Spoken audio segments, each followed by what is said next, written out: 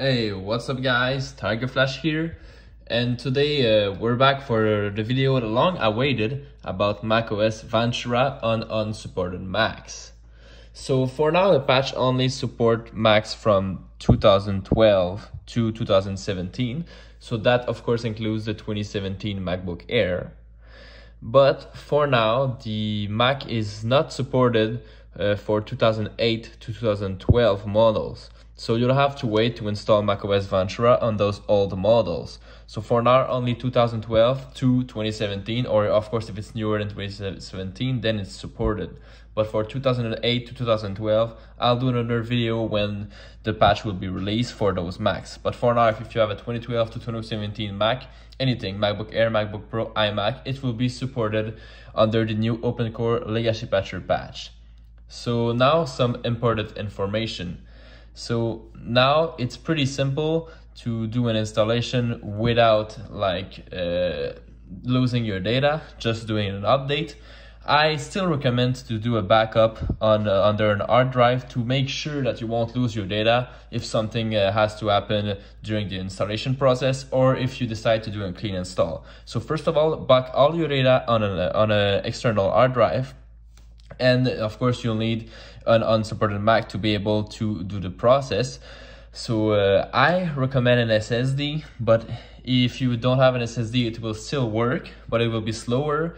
And I would also recommend 8 gigabyte of RAM, but of course if you have 4, it will still work, but a bit slower. But if you have an SSD and 4 gigabytes of RAM, I still recommend the upgrade because it will works pretty well. And of course, you'll also need a USB key. So I recommend a USB 3.0 because it's faster. But if you only have a USB 2.0 to get the job, the job done, and it has to be 16 gigabytes or more. So 16, 32, something like this. And everything that is on the USB key will be lost during the process, so make sure you back it up. So now we're ready to start the process.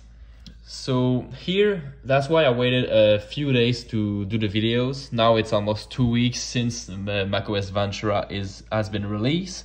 And as you can see, I've made some tests on several Macs and it's working pretty well on every single Mac I've tested. Some iMacs, some MacBook Pro Retinas, some 2012 Unibody MacBook Pros, and it's working pretty well. So of course SSD is not needed, but it will work better. So that's why I waited because I wanted to make sure that the patcher was working well and it is. So I want to thanks everybody that works on the patcher. So first of all, you'll have to install OpenCore Legacy Patcher. So of course, if you did did it last year with macOS Monterey, you probably already have OpenCore Legacy Patcher uh, on your Mac. Uh, if you do, just go into your application, open open OpenCore Legacy Patcher and run the update. But now I assume that you don't have it. So go on Google and write OpenCore Patcher, press on it, and then you'll have to go on the GitHub page. So I'll put the link in the description, no problem here. And you have to click on the GitHub page. So now once you're on the GitHub page, you want to scroll down to the right and here it's written releases. And you have 0.5 0.5.1, so that's the current release. It will change. And now you want to go into OpenCore Patcher, that GUI, that app. So that's what you want to download. So click on it, and now it's to download. I put it on the desktop, and let's go download it. And now just wait a little bit, so the application will download.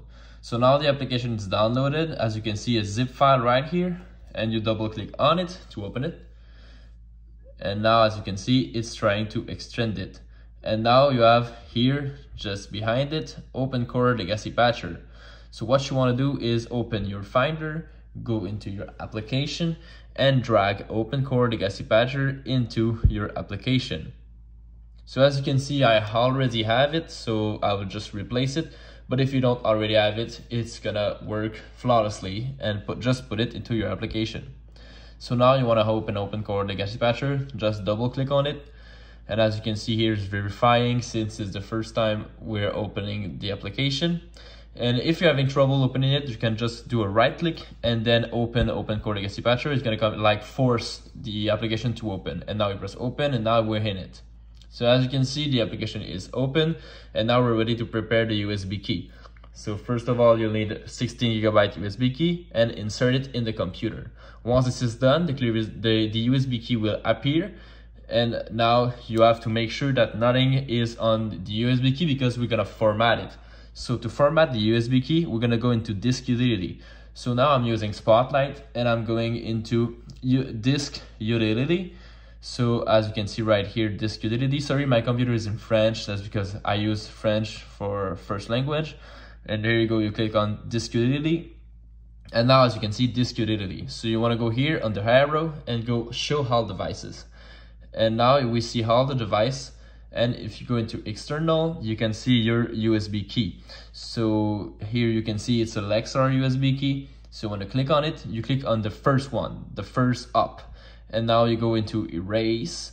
And you want to erase your USB key. And format is Mac OS extended journal and you have to change also the scheme to uh, GUID so partition GUID just like this and here you want to erase the USB key so now it's gonna take a while. Of course, everything will be lost on the USB key. And as you can see, it's gonna progress and you have a little uh, green flag, so it's gonna work and the USB key will be ready to be used by the patcher. Now it is done. So now you can quit this utility and continue to use the patcher. So once this is done, you wanna create macOS installer. So you will create, you will click on macOS installer, just like this. And once this is done, of course, you don't have the version on your computer, so you want to download macOS installer. So now it's going to look on the internet to find a version of macOS. So now you can see macOS 11, Big Sur, macOS 12, macOS Monterey, and macOS 13, which is macOS Ventura. So here you want to click on macOS 13. So now it's 13.0, but of course it's going to change 13.1, 13.2, etc. And you want to click on 13, the version of macOS Ventura. And now it's downloading macOS Ventura directly from the internet. So this is pretty cool. It's directly from the Apple website. It's going to take a while depending on your internet connection. And once it's done, it's going to ask for your password. So just enter your password. It's the administrator password of the computer. And now it's going to uh, try to put install macOS Ventura into your application folder. So it's loading right here, as you can see. And once the loading will be done, it will be into your application folder, which is pretty neat because that's what you want to, of course, create your install media on your USB key later on. So now you wait a little bit and as you can see, finish exporting to application folder. So as you can see right here, I've opened the application and you can see install macOS Ventura, which is what you want. And now you want to flash the installer and it's going to look into your folders if there is already an installer. And of course there is because you just downloaded. So as you can see here, you have installed macOS Ventura and it's going to say that you need a 14 gigabyte plus USB key. You click on it and now you want to just enter your password again. It's the, again the administrator password. And you press on enter. And now it's gonna try it's gonna start to write everything that's in install macOS Ventura onto your USB key. So now it's gonna take a while depending of if you're using a Thunderbolt drive or if you're using a slower USB key. Uh, it's gonna take like 30 to 45 minutes so if you have an, uh, an error here, which has occurred to me in some installations, you'll just want to format the USB key again and uh, re restart the application OpenCore Legacy Patcher and often the trick will be done. If it's not, you can always reboot your computer and try again and in every time it has fixed it, to me, for me at least. So now it's done, it's installed on the USB key and you have to install OpenCore to the USB key. So you press here, install OpenCore to disk and you want to install to disk right here. And now it's installing OpenCore and you have a choice to do. So as you can see, there is your internal hard drive with, for me, it's 500 gigabytes. And you have your external, which is for me disk 3. It can be disk like 2 or 4 for you, but it's the USB flash drive. As you can see, fixed 15.6 gigabyte. And of course you want to choose this and you want to choose the EFI partition, which you have no choice to do. And now you will enter your password. It's again the administrator password. So once this is done, it's gonna install OpenCore to the USB key, so you'll be able to boot from the USB key, which is the next step. So now you wanna reboot your computer, and you wanna press here to, to reboot. And now, once the computer will be rebooted, you have to press the option key or alt depending of the keyboard that you're using. If you're using a US or Canadian keyboard or a French keyboard, it's not the same. But for most people, it's gonna be option.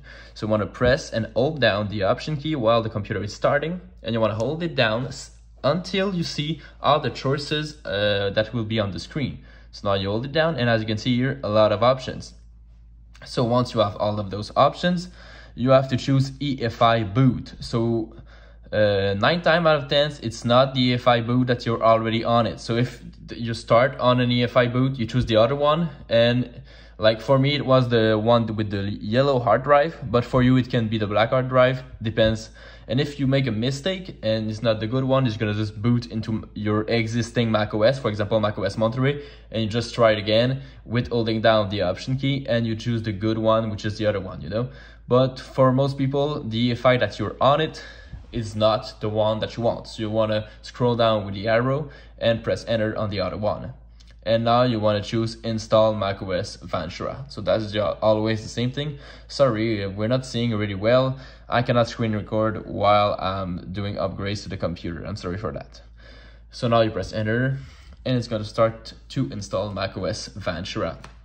So now it's starting the computer from the USB key to be able to install macOS Ventura to the hard drive.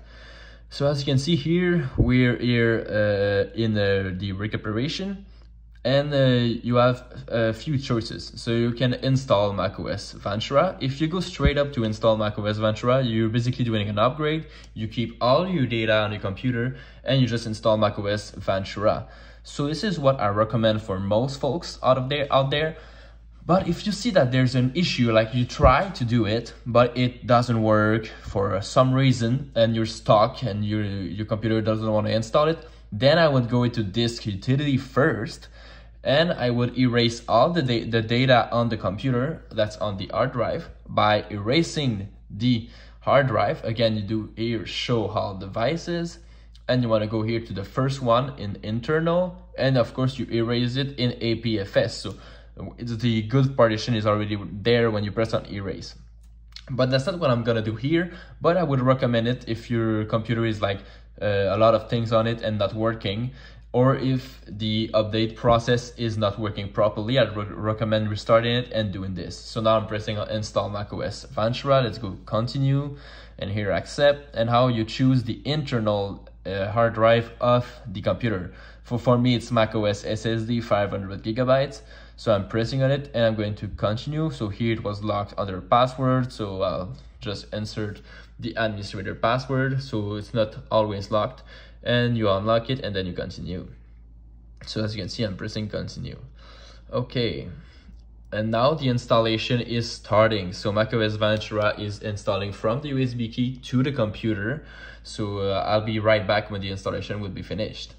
And also, the computer can and will shut down and start back up during the installation process and you will see all the choices on the screen but it will always pick the right one so you don't have to touch anything until it's finished. Okay, now it's finished. It took around an hour and you can choose like your region and everything. And uh, if, for example, a problem would have occurred, I would, of course, like I said, advise to do a clean install by going into disk utility and erasing your main hard drive into APFS format. Of course, back it all up before, and that fixed basically every every problem I had that has always happened. So as you can see here, it's APFS, and it's a partition uh, GUID, as you can see. So right here, you can start basically your normal installation process and it's gonna work like a brand new Mac. So of course the the the like the 10 first minutes is gonna be a bit slow because it has to do uh, like an indexing of all the things that's on the computer, but after it's gonna go work pretty well. So first of all, when you enter your password, let the computer work and OpenCore Legacy Patcher will start automatically. So you won't even have to start it. And as you can see here, it's open and it detects that I'm booting from the USB key because we're not on the hard drive. Maybe that's why it's slow for now because we're booting from the USB key and you want to boot from the hard drive. So you press continue and you want to install to disk. As you can see, it's building OpenCore to disk. So now it's installing OpenCore and now you want to choose your hard drive. So uh, here's for me it's disk 0 and the blue one is the one you're booting from. So here disk 0 and EFI and then it's going to ask for your password, enter your password, as we can see it's working flawlessly. And now it's building OpenCore onto the hard drive. So just wait a little bit and it's gonna do it uh, for you. So it's building everything you need for a flawless installation. And now you have to reboot to apply and you reboot again. So now you have to reboot the computer. So once again, for one last time, you have to hold the option key uh, while the computer is rebooting. So now you hold it down until you see the choices again. And then wait a little bit. Hold it down and now you see the options. So once again, the same law apply. It's not the EFI that you're already on it.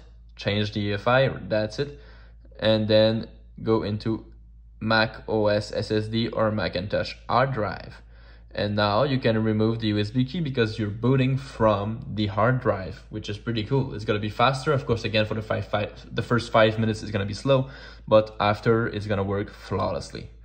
So now you just enter your password, again, unplug the USB key, and basically you can log in and it's like a new computer, but it's not finished anymore. Again, so I would go back into Finder, application, and try to disable show boot picker. So I would open again OpenCore Legacy Packer, Patcher, and here in the Finder, like I said, application, and OpenCore Legacy Patcher, just to make sure you follow up. And you wanna go to settings, and you wanna uh, like remove show boot picker, and after you wanna go to main menu, and you wanna build and install OpenCore once again, install to disk just to install the change and then you have only one choice your internal hard drive EFI your password so you want to enter your password once again and then the computer will start up for one last time and you won't see all the choices when the computer will start. It will start normally like a brand new supported Macs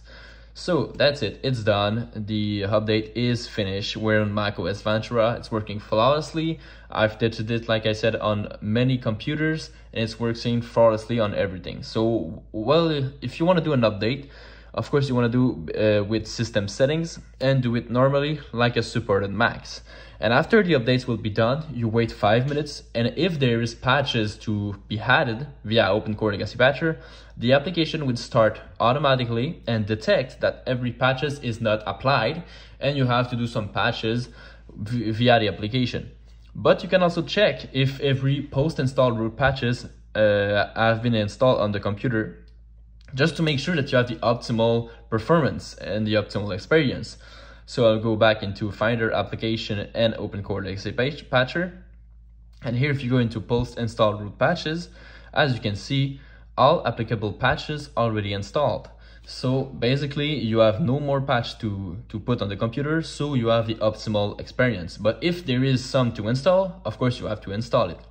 And finally, I would uh, advise you to run an application which is called Mac Fan Control uh, on your computer, basically any Macs that's getting old and has a tendency to run hot. Like your those patches Mac works flawlessly, but often they will run pretty hot. So here you can write Mac Fan Control on Google. And as you can see, you can download this application via the Crystal uh, DDI uh, link and you want to download the application and install it and it's gonna make your fan work faster so the computer will be cooler uh, all the time. So as you can see, if I go into my Finder and applications, here I have Mac Fan Control because I've already downloaded. And then I go into here. So I base the value on CPU core average and I put like start to 45 and max 99 because the max of Intel CPU is 99. And here, as you can see, it will make the Mac running cold. So here 57 is pretty cool. And the fan is running a bit faster. It's not really loud, but it's keeping the computer cold and working faster because it does not thermal throttle. So that's it for this video. Thanks a lot. Don't forget to leave a like and subscribe. And I'll make another video once the newer update will come out for 2008 to 2012 Macs. Thanks a lot. Ciao, ciao.